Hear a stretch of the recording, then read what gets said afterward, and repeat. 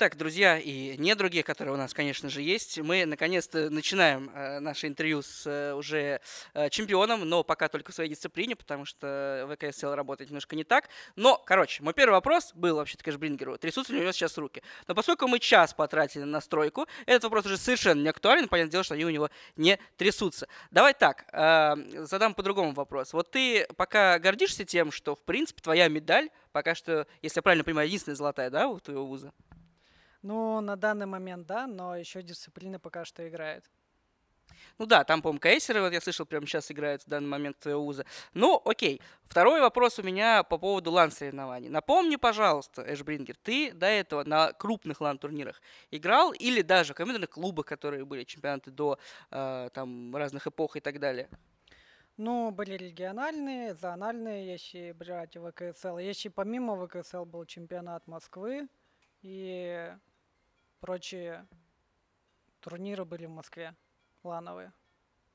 Да, точно, я забыл про чемпионат Москвы, действительно. Эм, вот, тут мне, э, как у, прям как у крутых интервьюеров у меня тут вопросы подготовлены. Вот, вопрос у меня, знаешь, какой? Я тут э, заметил, но я перефразирую его. Если ты помнишь, давным-давно, давным-давно мы с тобой были в команде Incredible Panic, давным-давно. Э, это был 2012 год, и ты тогда был в академке, грубо говоря, она называлась IP International.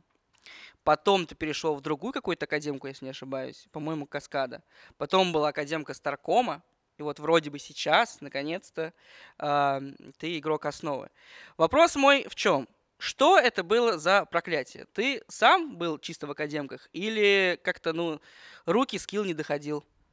Ну, изначально я начинал с Wings of Liberty, это было 2010 год, потом в 2012 меня позвал Unix э, в IP, потому что он был в основном составе, и мы, в принципе, начали играть. Э, тогда из конкурентов был Rox только, и после распада IP я ушел в Каскад. Это в 2015-2016 года. Ну, далее я просто уже в Старком перешел. Это был 2020 год. Точно, я вспомнил. У тебя где-то в этом периоде, где-то вот между, где-то между академками, вот этими всеми, даже, по-моему, после Каскада был, если не ошибаюсь, инактив. И, соответственно, что делал в инактиве и почему вернулся к нам в это болото, а, в нашу любимую игру? Ну, был инактив, потому что я закончил школу, поступил в военное училище, поучился год, но мне не понравился, отчислился, ушел в армию, год еще один потерял, потом э, поступил в нефтяной университет и все еще играю за него и учусь. Ты, получается, уже сколько? Ну, это второе твое высшее учебное заведение, если я правильно услышал. Ну, первое неоконченное было. Ну, да, я, я про это, да. Вот, а, ты трейлер смотрел Штормгейта? Да, я смотрел, он красиво сделан. Больше мне как бы нечего сказать. А там ничего больше не было. Да, типа красиво. Я к чему? К чему я этот вопрос э, подгоняю? Э, ты что, ты еще молодой? Ты сейчас закончишь э, свой вуз, долг ты родине уже отдал, как бы, типа, уже ничего не страшно.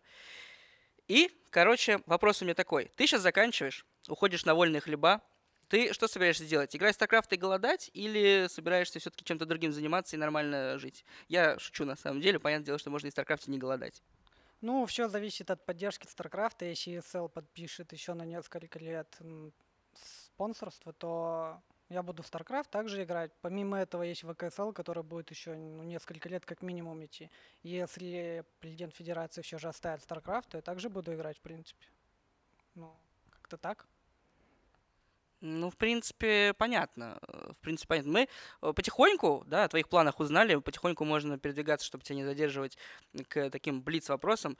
Поэтому я задаю вопрос, как, опять-таки, некоторые интервьюеры. Я задаю вопрос, а ты отвечаешь как хочешь абсолютно. Поэтому поехали. Самый, самый дисбалансный юнит. Disruptor. А почему-то я знал, что он так и скажет. Самый лучший игрок за всю историю. Serral? Вообще браток, но окей, оставим, да, как есть. Самый, самый игрок, который талантливый, но не достиг успехов. Life. Мне нечего здесь прокомментировать. Э, Как ты думаешь, игроки, когда вышел Wings of Liberty, из какой игры были более скилловые игроки? Из Warcraft или StarCraft? Скорее всего, из э, Warcraft, потому что механика была, ну, близко. Ну, близко сконцентрирована. Ну и из Брудвара в основном тоже пришли сразу же. Но в Корее это Брудвар это классика считается. И по сей день спонсорство идет. Кого из мировых игроков хочешь обыграть в БО-5? Ну, я бы обыграл, хотя хотел бы обыграть все же Сэрл, наверное. Окей. Ну, это на самом деле выполнимая задача. Можешь ее ссылочки посмотреть. Там его, да, показывает ему, что такое StarCraft. Ну и последний, собственно, вопрос. Э, Если не StarCraft, то? То я бы ушел в Гвинт.